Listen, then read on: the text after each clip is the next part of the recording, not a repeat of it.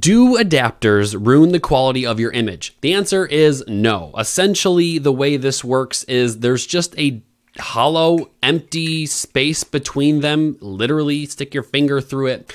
It doesn't do anything to the quality of your, your image or your video. It's just there to adapt the lenses. I can get into more of how it works. Check out the videos on my page.